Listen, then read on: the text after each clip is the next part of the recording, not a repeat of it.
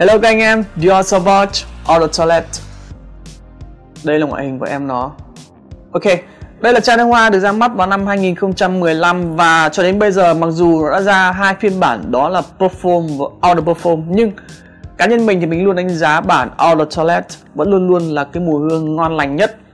Với cái sự kết hợp giữa tiêu và ambrosan tạo nên một cái mùi hương có thể là nó hết hết sức là phổ thông. Nhưng dù sao thì chúng ta vẫn không thể nào phủ nhận được cái mức độ thu hút quyến rũ đặc biệt là trong mắt các chị em. Nó tạo ra một ấn tượng uh, gọi là khá là tốt trong cái cảm nhận của các chị em.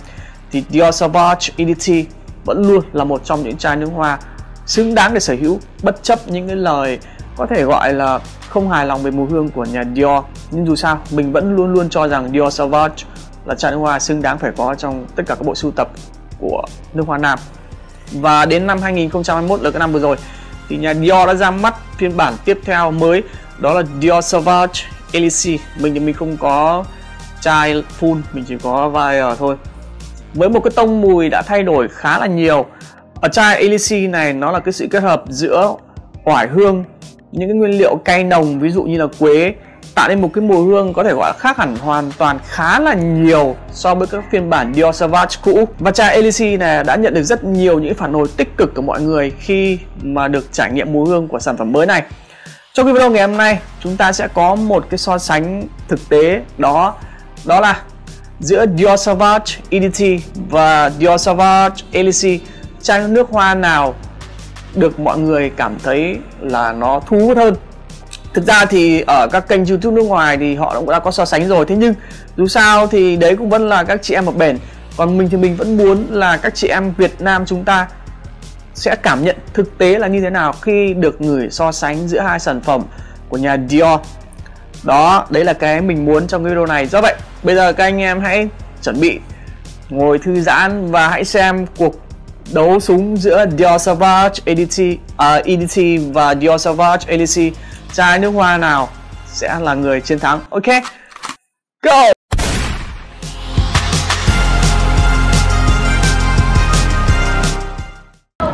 Ok em bây giờ là anh có hai mùi hương ấy thì em có thể ngửi và em em cho anh xin ý kiến là em thích mùi nào hơn nhé. Đây và đây.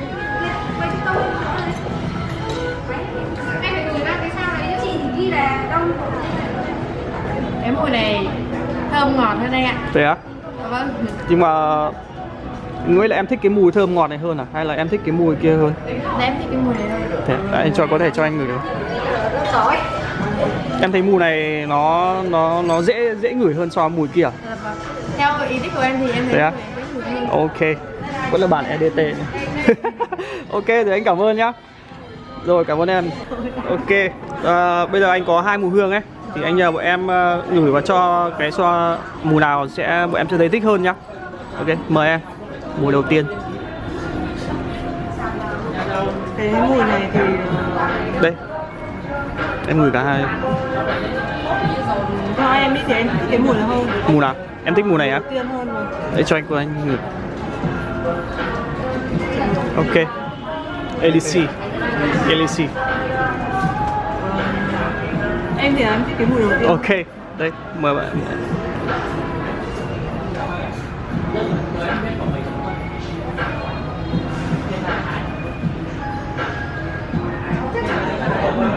Em thích mùi này à? Em gửi lại giúp anh có phải em thích mùi này không? đúng rồi em thích cái mùi đầu Ồ. tiên nó khá là cái gì nhỉ Nó ngọt ngào hơn à? Ờ, Ok em ấy thì ờ, bình thường là em dùng ấy thì em sẽ thích cái mùi ngọt. Mùi ngọt. Theo theo cá nhân của em thì em sẽ chọn cái mùi Ok. ngọt. Đây em thích cả mùi này đúng không? Em gửi lại giúp anh được không? Đây là hai gì rồi ấy Đúng không? Đúng không? Ok. Ờ anh cảm ơn nhá. Ok. Ờ cảm ơn hai bạn rất nhiều. Ok ok. Elise. Đây để anh. À, Anh có hai mùi hương ấy Thì em ờ, xem giúp anh là em thích mùi nào nhá Đây là mùi đầu tiên Đấy em ngửi vào đây Và mùi thứ hai Em em có thể bỏ hẳn khẩu trang Anh không quay mặt em đâu Và mùi này Thích mùi này không? Em thích mùi nào? Mùi này á? Ờ, mùa này em thấy là so với mùa này thì nó đậm nó đậm hơn à hay là như thế nào? Em thấy mùa này nó bị đậm quá Đậm quá. à? Mùa này nó rất là Ok. Ok, Dior Sauvage Elixir rồi. Anh cảm ơn em nhá. Rồi cảm ơn em. Ok. Ờ, ở đây anh có hai mùi hương ấy. Anh nhờ hai bạn là ngửi giúp anh và cho anh cái cảm nhận. em tiếng Việt chưa rồi nhá Ok ok không sao em. Thì đây em ngửi giúp anh xem. Đây bạn bạn nữ này trước đi. Ờ, con mạo tôi đấy tròn tròn Em thích mùi nào hơn? Bạn một bạn một từng bạn một đấy. Đây em gửi ở đây này. gửi ở chỗ này này. Đó. Từng bạn một đấy. Em thích mùa này á? Còn mùa này bọn em không thích à? Em thích mùa này hơn à? Ờ, cả hai bạn đều thích mùa này à? Ờ, rồi ok anh cảm ơn nhá. Dior Sauvage EDT. Rồi anh cảm ơn nhá. Rồi cảm ơn.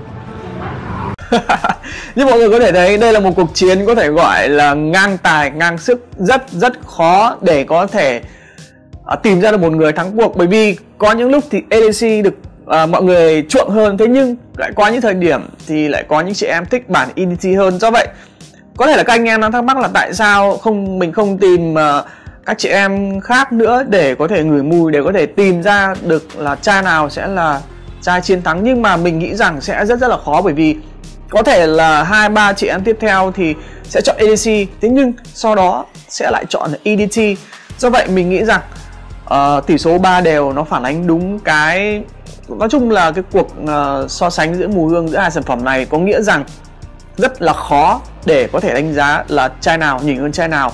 Nó sẽ nói chung là nó sẽ phụ thuộc vào khá nhiều những cảm nhận của các chị em. Nhưng dù sao chúng ta có thể thấy rằng là cái mức độ ghi điểm cái độ ấn tượng mùi hương khi mà sử dụng hai chai nước hoa này thì không phải bàn cãi không không thể bàn cãi được đó. Thì buổi xong video so sánh giữa hai sản phẩm Eau de Toilette và phiên bản mới Elysi của nhà Dior. Đến đây là hết rồi. À, hẹn gặp lại các anh em trong những video tiếp theo. Còn bây giờ mọi người hẹn gặp lại mọi người trong những video tiếp theo nhé. Ok bye.